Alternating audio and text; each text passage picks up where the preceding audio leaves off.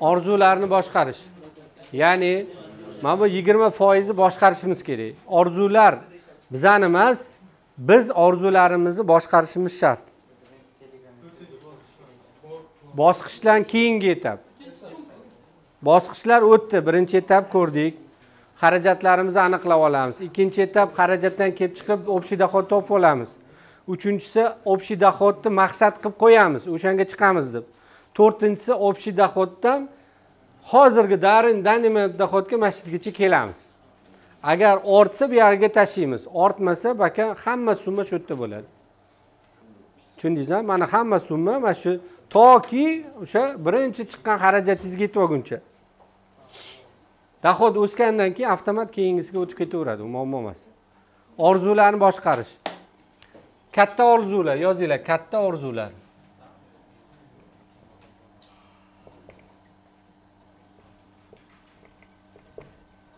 Mana shu narsa sizlarni haq agar sizlar yashayotgan uy minayotgan moshinaga haqli ravishda egamisizlar yo'qmi sizlarni belgilab beradi? O'sha yigirma foiz belgilaydi.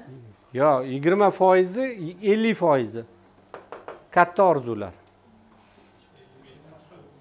Katta orzularni boshqarish. Ya'ni birinchisi moshina avto ikki ikki yarim oylik dohoddan oshmasi kerak?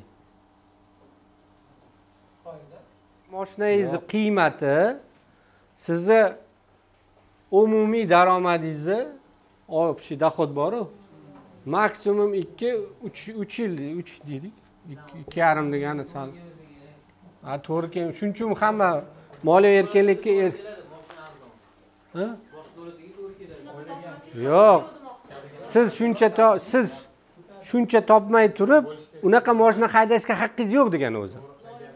Biz nima deymiz? Biz o'zimiz kam topamizda o'zi matiz haydashga ham arzimaymiz hali topayotganimiz lekin kreditlar olib avtokredit qarz olib lasettilar malibular haydaymiz. Tushundingizmi? Endi sizni moshinangizni narxi mana bundan qimmat bo'lsa soting.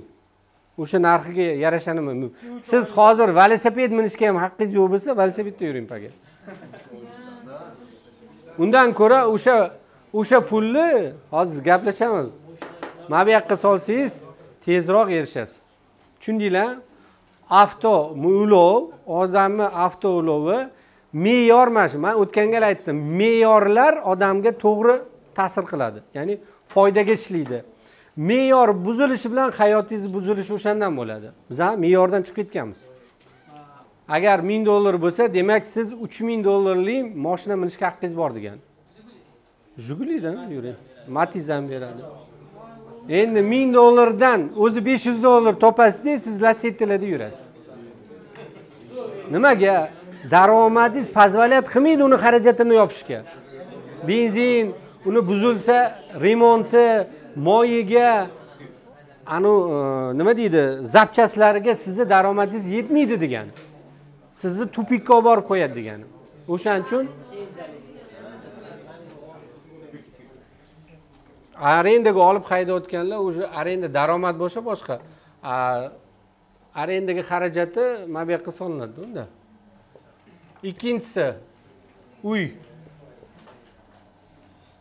Yashayotgan uyingizni qiymati yigirma to'rt oylik daromadingizga teng bo'lishi kerak.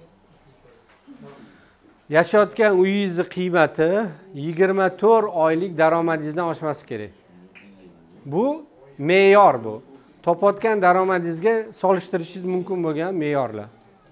Agar sizni uyingiz demak ming dollar topayotgan bo'lsangiz maksimum yigirma to'rt ming dollarlik uyda yashashingiz kerak. Undan qimmat uyda yashayapsizmi? Demak siz haqqingiz yo'q hali unaqa uyda yashashga undan ko'ra uyni sotib ortgan summani kapitalga yo'naltirish kerak bo'ladi.